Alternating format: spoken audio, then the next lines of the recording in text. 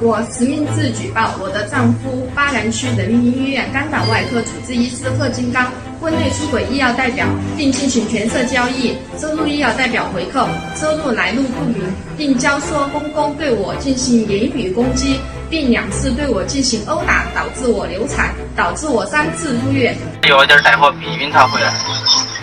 好嘛，我从来没买过东西，好尴尬哦。有啥子尴尬的哦？